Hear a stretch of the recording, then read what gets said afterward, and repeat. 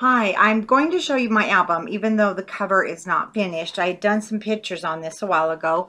It's one of those that I just need to finish. Um, it's been finished, so I thought I'll go ahead and do the video. I started to work on the cover, but I've stopped because it's one of those I've gone blank.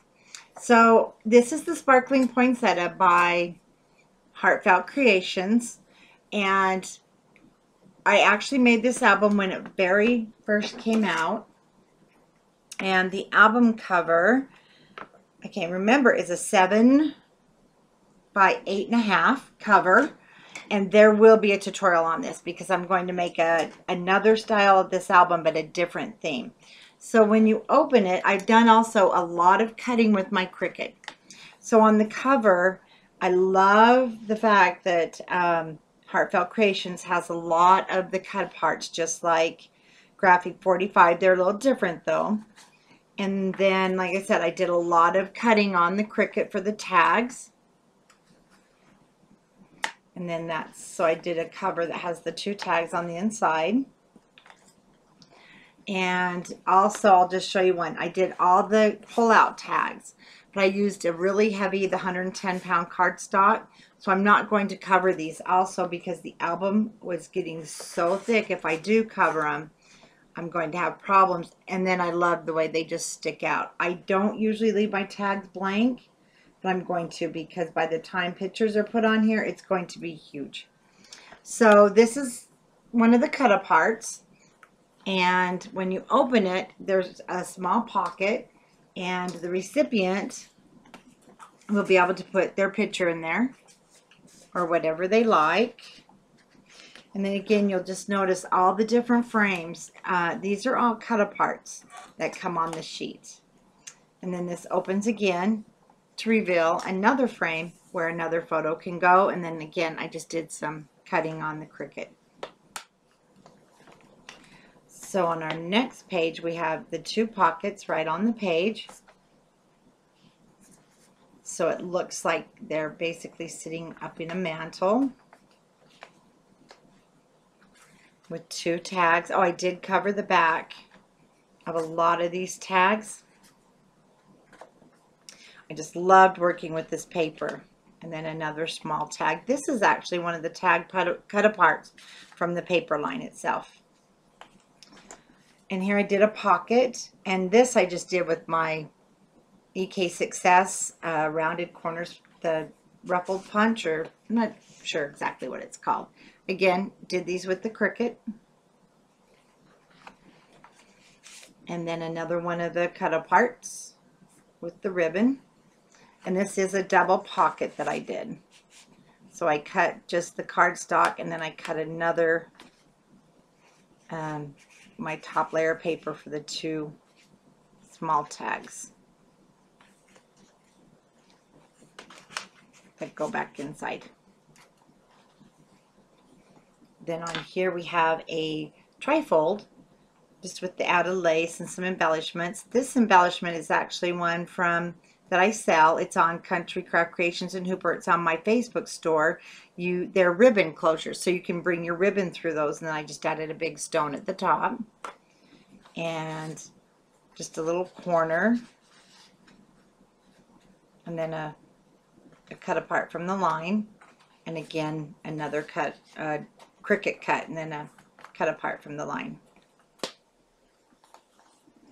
And here we have just a frame that I did on the, the Cricut. And then this will open for lots of pictures there. And this is a frame, so a picture can go inside or on the back of, of the tag and put down in.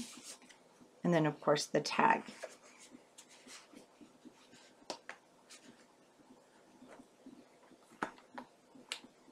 Oh, and I had done the gusset on the side here because of the bulk bulkiness and then also it'll it'll become even more bulky when pictures are added. So for this one, down here at the bottom, I just did a corner piece from the Cricut and then these two little tags come from the paper line. Just set those down inside. These look crooked because of, there we go. So these are two tags and you just pull those out of the pocket and I overlapped the pockets And then I put a small basic gray magnet back behind. It's actually inside of this mat so that that would hold down when you pull it out.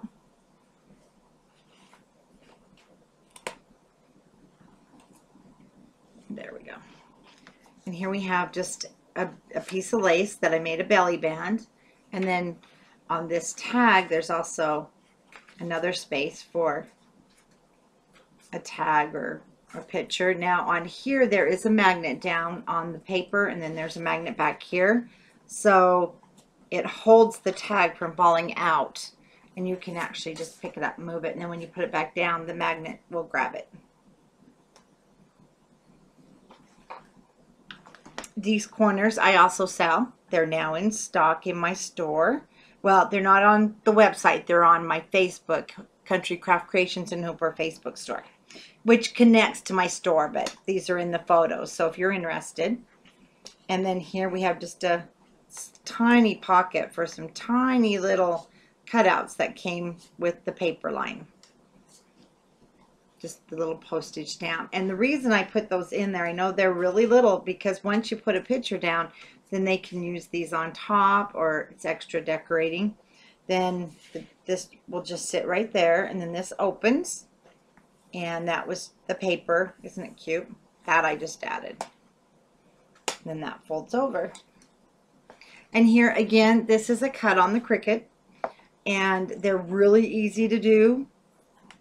And then I just turned it into a flap and then this will lift up and it's great place for another family photo or of the kids.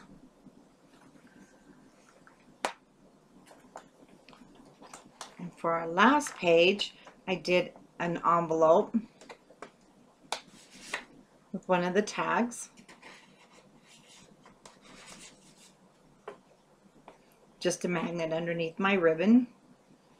And then this is also another one of the tags that I cut from my Cricut and made a pocket back there. And then for the back, I just uh, cut one of the sayings. I thought it was really gorgeous and it says Happy New Year. Nice way to end the album. Cut the, you'll see these, I've got a bunch cut. They're the die cut that